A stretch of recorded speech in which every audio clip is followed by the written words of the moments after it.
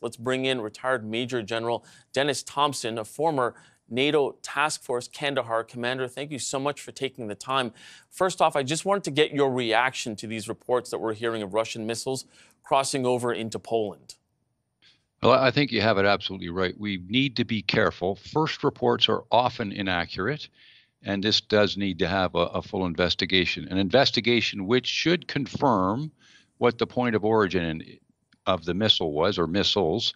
And that's something that uh, military experts can typically do in, in, rather rapid fashion. Once you know where the point of origin is, you can assign uh, responsibility, if you will. And of course, they can examine the remains of the missile on the ground. Uh, that's important before we start pointing fingers and, uh, and invoking Articles 4 or 5. Uh, so I think prudence is the word right now, and that an investigation, a full investigation, which won't take long, is something that needs to be done before anybody anybody jumps to any uh, rash conclusions. What does it tell you, though, that Polish officials are talking about Article Four at this stage?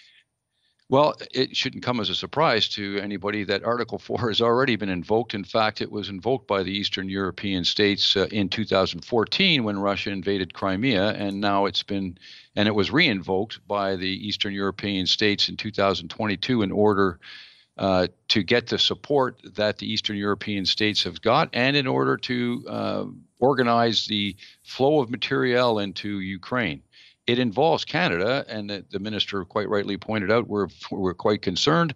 We have 700 uh, soldiers assigned to the advan- enhanced forward presence battle group in Latvia. We're one of the member states that in, in uh, invoked Article 4 the last time around.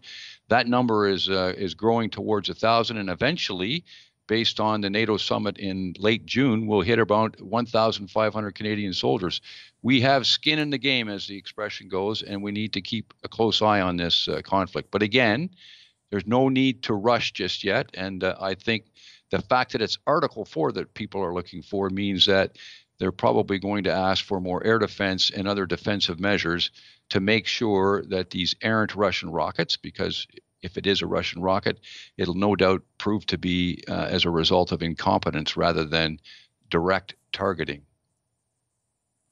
Major General, is that the reason why everybody is being so cautious here? Because of the weight that this could carry, that even if it if it wasn't an errant uh, missile, that this is possibly an Article Five. Is that why everyone is a being so careful, but b really sort of making sure that we can get to a place that potentially we can have this? I don't want to call it an excuse, but almost an out, uh, because a NATO uh, you know attack on one and an attack being on all, I mean that triggers a major response. Right.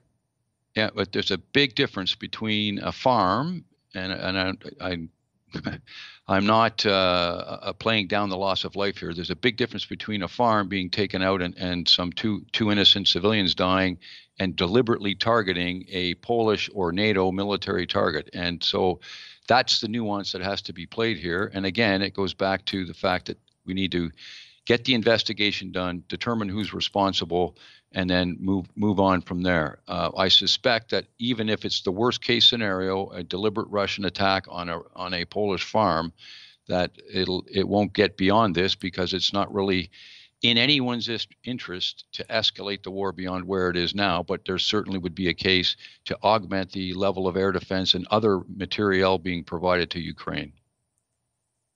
Major General Dennis Thompson, thank you so much for speaking with us tonight and providing this expertise. We really appreciate that.